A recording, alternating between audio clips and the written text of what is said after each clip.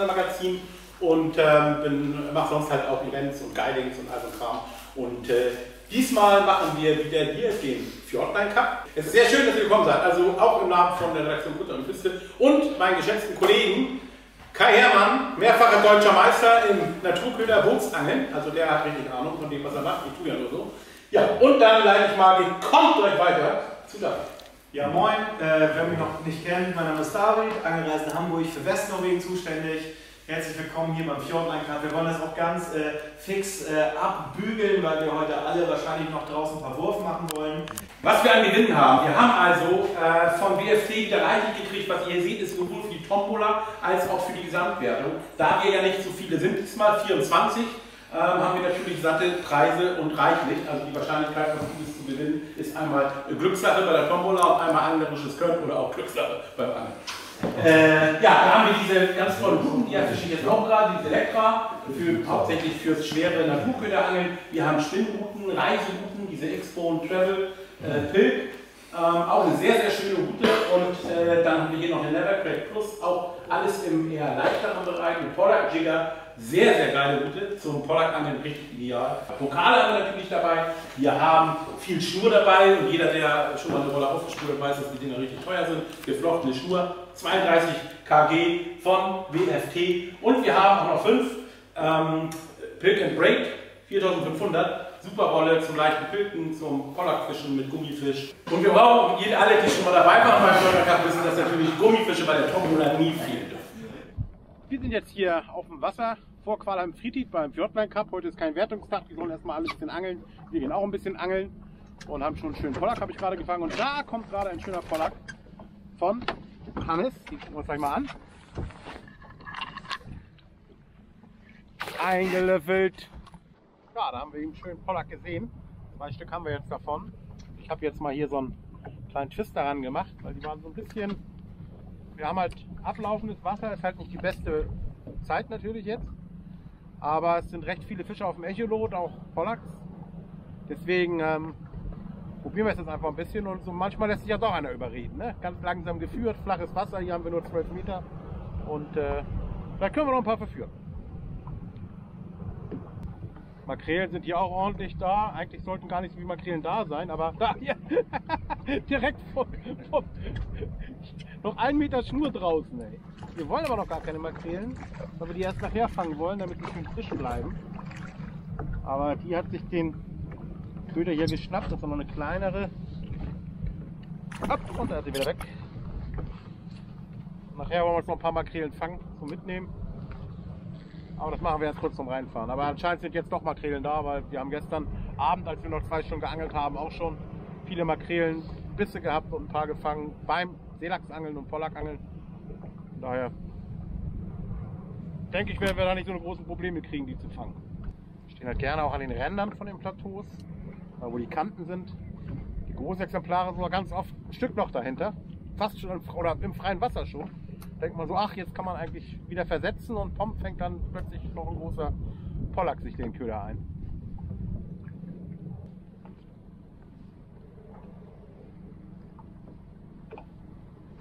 Da ist er. Ja. Yeah.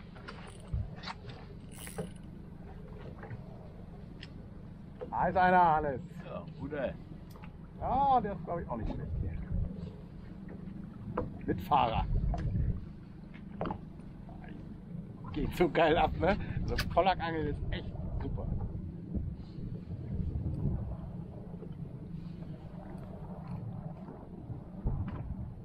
Ich sind sie.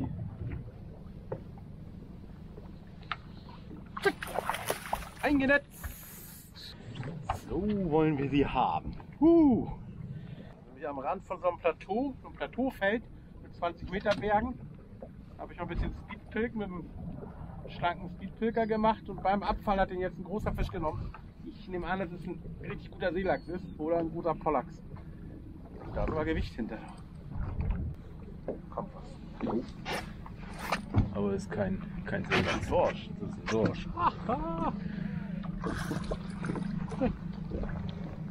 Beim schnellsten Club. Schau mal, soll es noch gleich auf die Dorsche gehen. Geil. Siehst du? Schöner Dorsch. Schöner Dorsch. Wow. Schöner Dorsch. Im Mittelwasser beim Speedpilk, kannst du mal sehen. Der war gerade am Rauben wahrscheinlich. Tja, jetzt haben wir hier Echo gehabt und haben Klohähne gefangen beim Speedpilken. Aber was für Klohähne? Aber schöne Klohähne, große Ja, Klohähne. Die werden wir uns mal schön mitnehmen, ne? Ja. ja. Jetzt weiß ich auch, was die Norweger mit Heavy Rain meinen. Es ist nämlich richtig Heavy Rain. Aber trotzdem, Hannes hat noch einen schönen Fisch drauf. Also es ist echt richtiges Wetter. Dicke Regentropfen auf der Linse. Aber vielleicht sieht man es, die Route ist krumm. Alter Schwede, ist das ein Wetter, ey.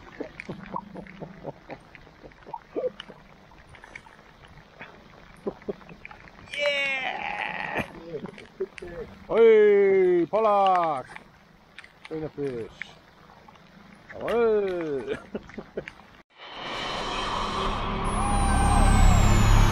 Drüber müsste ich dann Grund, aber ich dachte, du gehst hier ein bisschen in die Höhe, dann machst du hier so 70 Der cm kommt ja dran nicht hin. und der würde dann sich Ich lasse ihn ja nicht rumpeln, den Balkon. Ja, ja, Wenn das einklopft, ich ihn bis nach genau. Oder ist das nicht Ja, richtig am Technik nutzen. Nee, schiebst nochmal so weiter. Guck mal, jetzt schiebe ich ihn ran, wie ich ihn haben will. Wenn er bis Luftzuschuss macht. Ja, ja, klar, macht ja nichts. Dann, das, Muss ja ein das, bisschen Bewegung rein. was das angenehmer ist, ihr kennt das bei den Längs und Noms, wenn ihr jetzt zum Beispiel eine Montage hättet, die reingeknotet ist. Die drehen sich wie die Teufel. Genau, das wollte ich gerade sagen, da kannst du hier bei den Wirbel dazwischen, da drehen sie sich oft aus. Dann können sie sich 26.08.2022, der Startschuss für den ersten Wertungstag beim Fjordland Cup 2022. Es ist jetzt genau 7.56 Uhr beim nächsten Piep, 57 Sekunden. Nee, 7 Uhr 56 und 57 Minuten. Oder so ähnlich. Auf jeden Fall starten wir um 8 Uhr. Die ersten Boote sind hier schon bereit. Die ersten Motoren laufen sich warm und äh, alle sind heiß. Es ist ein wunderschöner Tag. Es ist kein Regen mehr. Es hat die ganze Nacht geregnet, aber das hat uns natürlich nicht mehr gestört. Aber jetzt regnet es nicht mehr. Es ist ein wunderschöner Tag. Wir haben keinen Wind und ich glaube, es wird ein richtig, richtig geiler Angeltag. Was dann dabei rauskommt, das sehen wir heute Abend. Ja, dann machen wir uns mal bereit für den Startschuss und dann geht's los.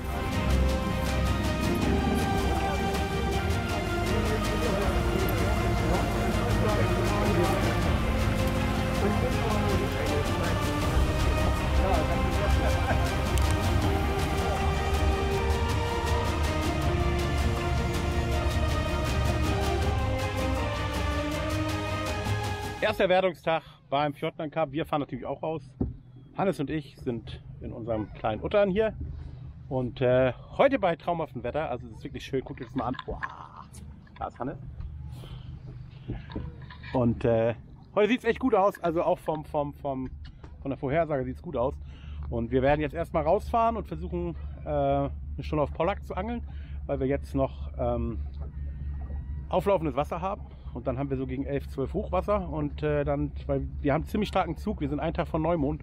Und äh, das heißt natürlich, dass richtig, richtig starke Tidekräfte walten.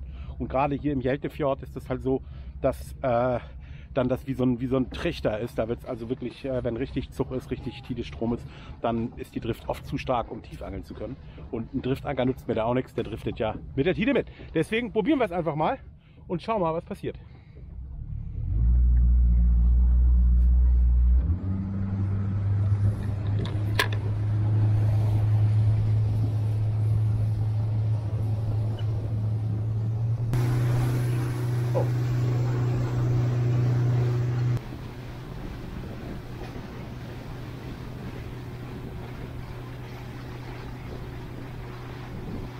Ja, und jetzt zeigt uns Hannes wieder, warum er gut zu vögeln ist. So. Wir nehmen mal die Sonnenseite. Wir nehmen mal die Sonnenseite.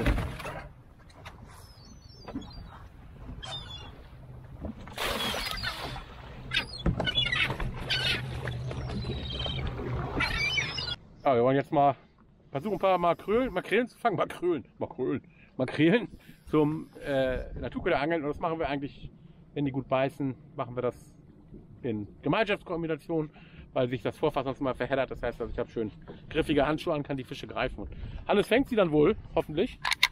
Mal gucken, da welche sind, Bock haben. Wunderbar. Da sind schon so Ködermakrelen.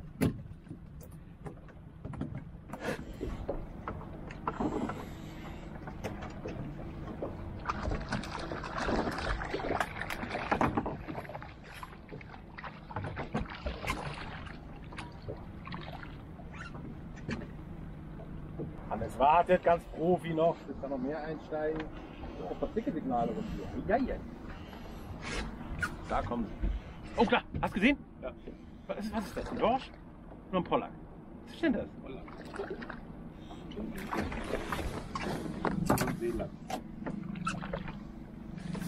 Halt sie mal da noch. Ist er noch da? An der Oberfläche.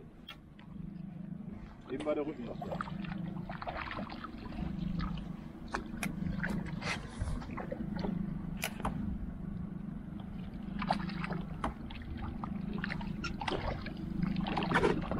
Ist er weg? Kam irgendwie ein großer Pollack oder Dorsch hinter den Makrelen hinterher? Da ist er. Da ist er. Ja, der war. War da am Köder. Ich lasse jetzt einfach mal vier Meter ab und kurbel ganz, ganz gut. Ist das okay? Kannst du ja schon mal reinholen. Ich mach das gleich, aber ich lasse einfach mal ein bisschen ab. Vielleicht kriegen wir den. Ich glaube, das war ein großer Pollack. Da. Ja, ich habe ihn. da ist er.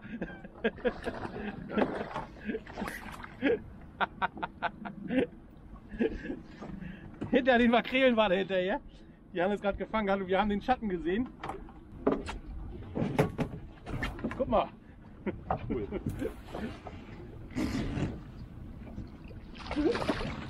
Ja, Baby. Du wolltest fressen und jetzt wirst du gefressen. Wir wollen heute mal anfangen hier mit den Eisele Fertigsystemen. Verschiedene Längensysteme. Eins mit Drilling und Einzelhaken. Eins mit zwei Einzelhaken. Und mal gucken, ob da was drauf beißt.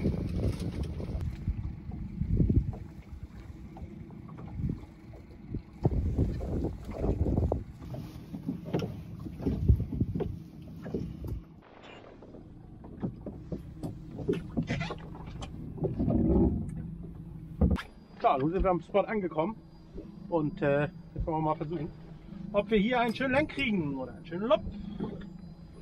Da kommt das gute Eieiei, eine schöne Flattermakrele. So.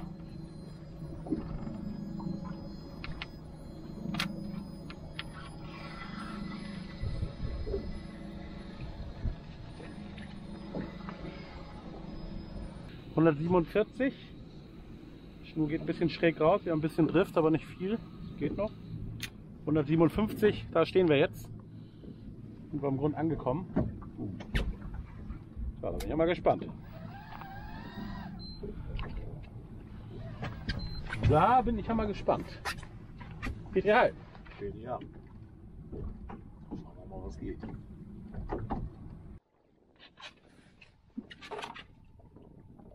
Schon der erste Biss. Nicht schlecht, immer noch. Immer noch zu lange.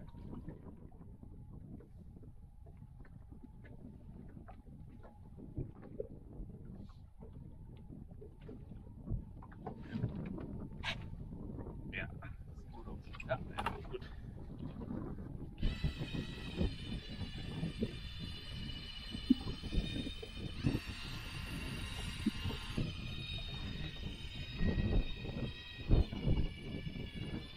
Wieder fix.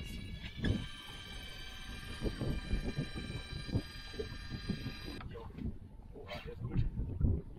Ist gut.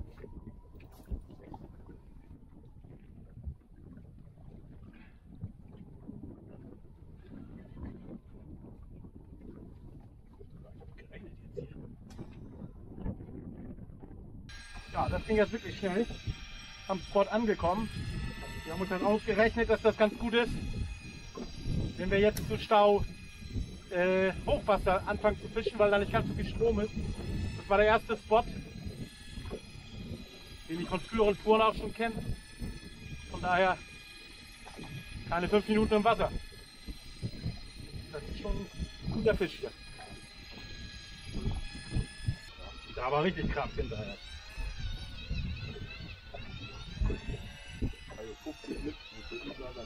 Ja, allerdings, ja.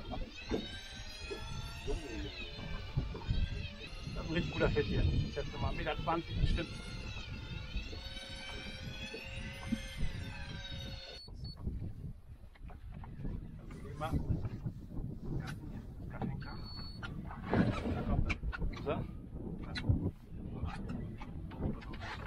Ei, ei, ei, ei, ei, ei, ei, ei. Oh, was ein Trümmer, ah. ey.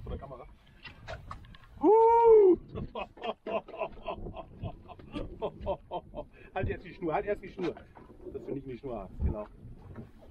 Uh, ob das was wird. Yay! Uh! Ja, das hat echt richtig gefunzt. Fünf Minuten Naturköder angeln. Ich habe echt gerade runtergelassen. Ein, zwei Minuten später kam schon der Biss und die Granate hat gebissen. Also das war jetzt wirklich so, wie es wirklich passiert ist. Also muss ich sagen, so ein, also in der kurzen Zeit, so einen Fisch habe ich noch nicht gefangen beim Naturköderangeln. Auch früher nicht, als wir das dann ganz viel gemacht haben. Das ist er. Ein Lächeln. Ist das anstrengend, ey.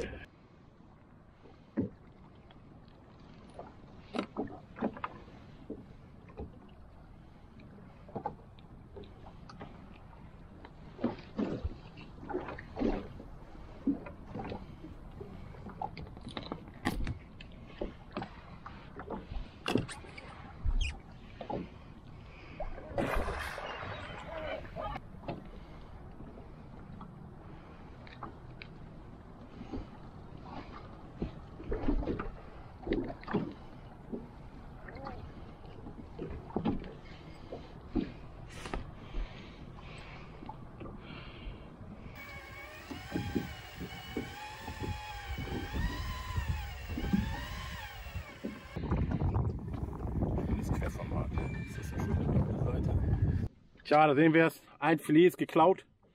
Da haben sie reingebissen. Aber das hat nicht gelangt. Knapp am Haken vorbei. Hat er gut gemacht. Für sich. Ja, es war einer eingestiegen, aber auch kein großer. Alles hat sein gerade versorgt. Auch ein schöner Fisch. Ich schätze mal auf einen Meter.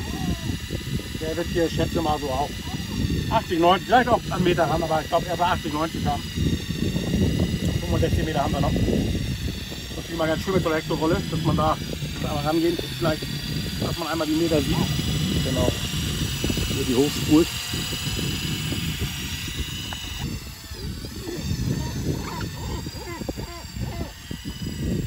So, jetzt haben wir noch 15 Meter. Er. Der erste Lump. Hey, siehst du? Kaum habe ich Hornisch dran gemacht, beißt ein Lump. So, lustig. Ja, oh, ein schöner. Ist ordentlich Rumpeln hinter. Also der ist auch nicht schlecht.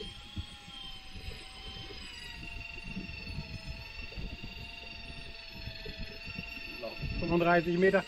Haben eben einmal 400 Meter Schnur abgelassen am Pilker bei Fahrt, weil die ein bisschen locker aufgewickelt war. Und das ist ganz wichtig, dass die stramm aufgewickelt ist, sonst frisst sich die Schnur rein bei so einem Drill. Dann kann sie abreißen. 19. Wenn jetzt wird auch gleich auftauchen, irgendwo hinterm Boot. Achtung Möwen, Längerlahm. Setzt euch noch auf beim Auftauchen. Ah, jetzt sieht man schon, wie die Schnur schräg geht.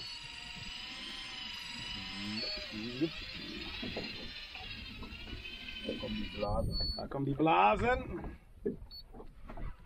Da kommt er. Da ganz hinten. Oh ja, ein schöner wieder. Oh! Oh! Was für ein schöner Länge. Wie ich schon sagte, ein bisschen kleiner. Was weiß ich, so Meter 10, Meter 15 vielleicht. Toller Fisch. Den kann man ein bisschen besser tragen. Bisschen einfacher. Er hat auch irgendwas im Magen, was er ausgekotzt hat. Tja, schwer zu sagen. Mit den Stacheln hier würde ich sagen, Makrele. Nicht mehr so gut erkennen, aber würde man sagen, kleine Stachelchen hier müssten eigentlich Makrele sein. Oder Bonito, aber ja unwahrscheinlich. Wollt ihr gefressenen, einmal gefressenen Fisch haben? Wer will? Okay, du. Bitteschön.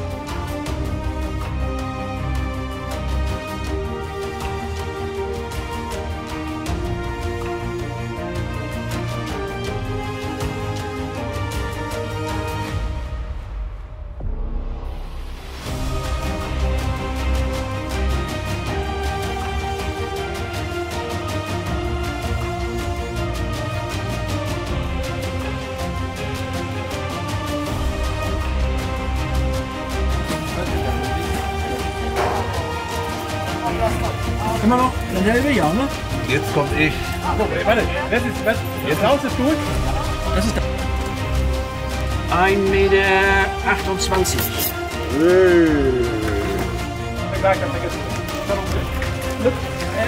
Dann wir. Äh, kannst du den Dustenkorn so. Ach, auch Dustenkorn. Hier so. Ja, hier draußen ist hier geatmet. Gleich.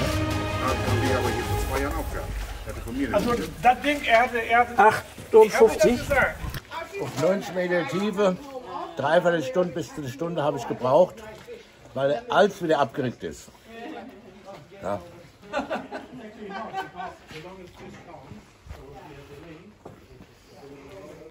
Wenn das meine Frau sieht, dann ist der Bock fett. Ja, du kommst nie wieder nach Norwegen. Ich wach hier op een, dat die mit anpacken da. Olle holt die Schnut. Der Mann ist Grafikdesigner, der kann das. Normaal die doch noch ein Bild op. Ja, ja, Packst du nur mit an oder nicht? ja. Doch, ne? Der muss er. Du musst anpacken. Gut houden. Ah, Ich hab keine Handschuhe, Teufel nochmal. Aber ich, An- Wenn jetzt nur gern Handschuhe. ich pack hinten an. Der Foto ist kaputt. Länger als gedacht. 1,45 fast. Warte mal. Meter 40, ja? Die brauchen wir drinnen. Für die Filets. 1,49. Zieh mal die Flosse zusammen. richtig? Ja, ja, wenn du zusammenziehst, bist du bei genau 1,45. Ja, super, dann ist er 1,49. 1,49. Du hast einen Back hier, kannst du durchgehen. Und sind ja noch die Tauchen hier.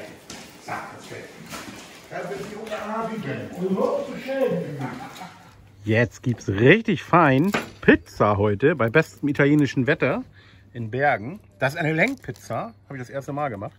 Mal gucken, ob die schmeckt. Ah. Italien, wie es bleibt und lebt.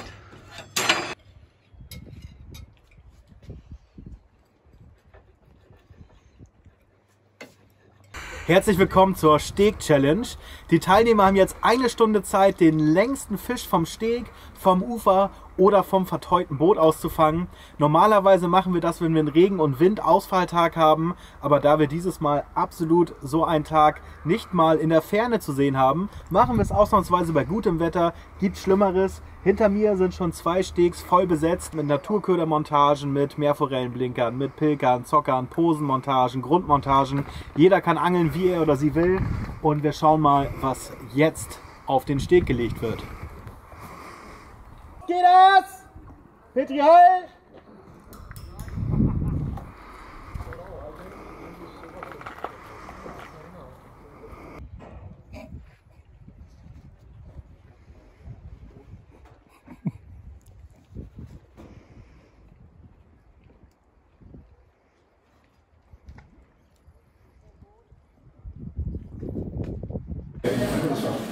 Offizieller Teil des Abends. Gleich gibt es äh, was umsonst.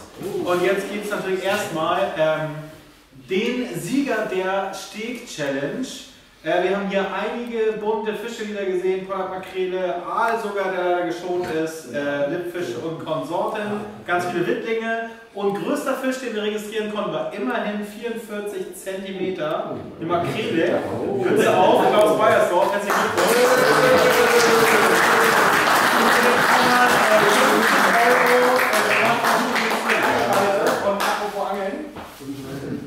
Jawohl, damit du nicht so große Route mal schleppen musst. Tiptop Reiseroute von BFT, Big Travel. Wir machen so ein bisschen zusammen. Ja, nochmal einen herzlichen Dank an unseren Hauptsponsor, WFT World Fishing Tackle, die also wirklich sich nicht haben lumpen lassen. Also WFT, vielen Dank nochmal dafür. Einen dicken Applaus, denke ich, ist das wert.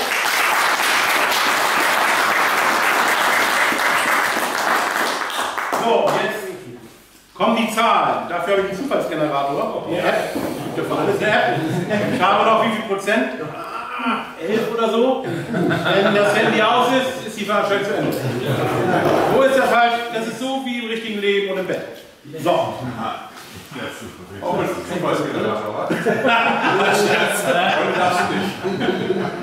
Ja, ich würde mal sagen, David? Ja.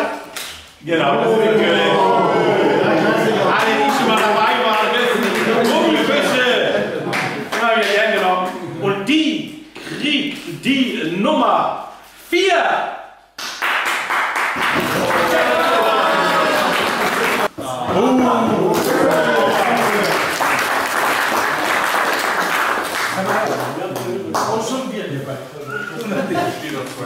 Jo, das passt.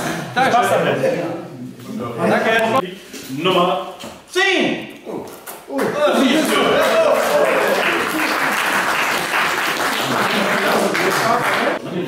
Ja, wie viele Türchen hat denn das Weihnachtsfest? 24! Und hopp!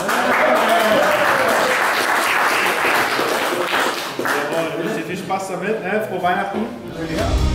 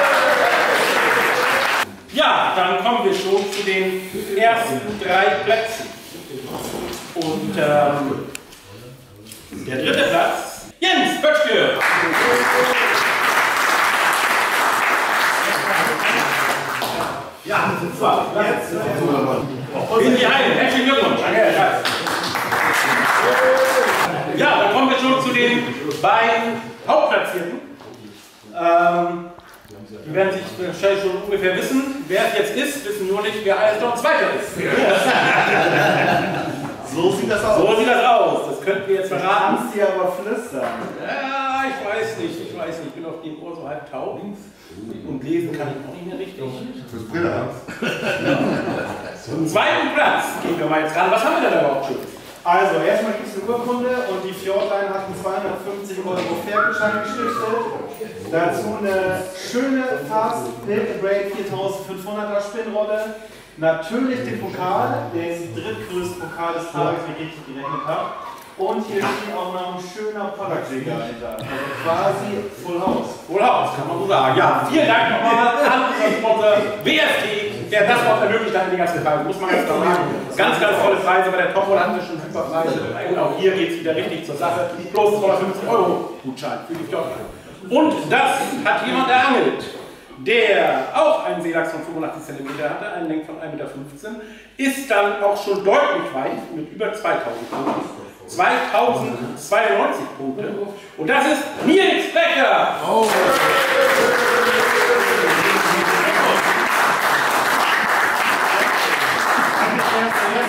Genau. Und dann einmal ein schönes Siegerfoto. Hat von 91 cm, äh, Quatsch, einen Seelachs von 91 cm, einen Lenk von 1,11 Meter. Hat aber auch, muss man sagen, schon deutlich Punkte drüber. 2274 Punkte. Thomas Fussenborn.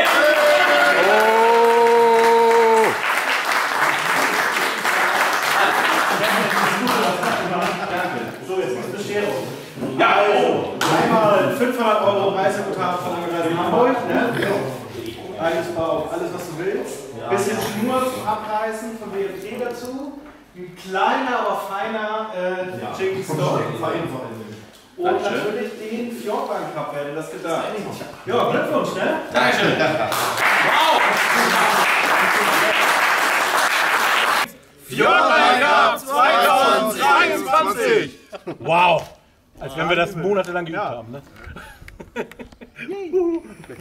Heute ist der letzte Tag hier beim Fjordland Cup, beim 11. Fjordland Cup 2022 in Qualheim, Friedit, bei Bergen. Und ähm, wir werden nochmal mit richtig tollem Wetter verabschiedet, wie es nicht unbedingt immer üblich ist hier bei Bergen. Aber es ist wirklich ein richtig schöner Spätsommertag. Es ist kein Wind, es ist, äh, die Sonne scheint, es ist wirklich toll und alle werden ganz entspannt jetzt vielleicht noch mal ein bisschen angeln fahren, dann ihr Gerät zusammenräumen. Abends ist dann die große Siegerehrung. Ja, und dann geht es morgen früh mit der Fjordline zurück nach Dänemark und dann verteilen sich alle wieder auf die deutschen Landen. Es war eine tolle Tour, es hat wahnsinnig viel Spaß gemacht, wir haben tolle Fische gesehen und äh, es war auch eine, äh, ein super Gefühl unter den Leuten, das war so, hat richtig Spaß gemacht. Ja, das war's. Fjordline Cup 2022 in Kuala. Ja, herzlich willkommen zur Steak Challenge. Das hat nichts. Oh, Steak, ey.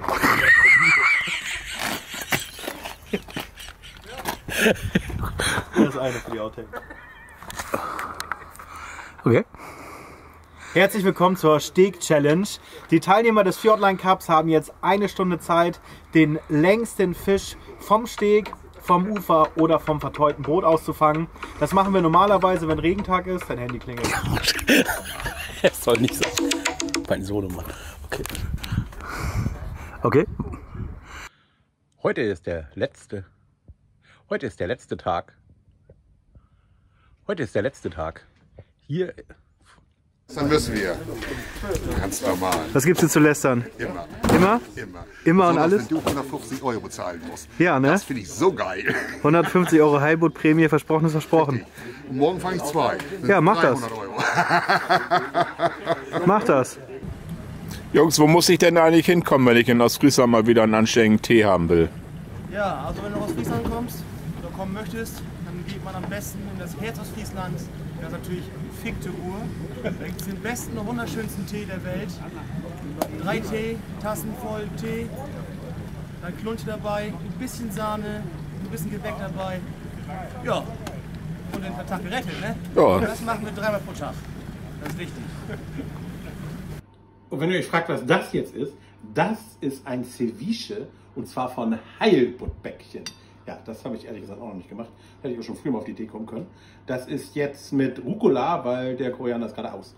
Und Mango, die haben wir aber und äh, Chili natürlich. Und die Bäckchen verdanken wir unserem Teilnehmer beim Cup, Franz Heller. Der hat nämlich einen 1,49 Meter Heilbutt gefangen. Und der hat uns die Bäckchen geschenkt, weil wir ihm den Fisch filetiert haben.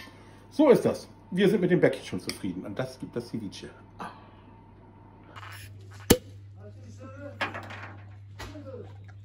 Auf einen schönen Fang heute. War richtig toll. Große Fische kommen sogar in Heilbutt.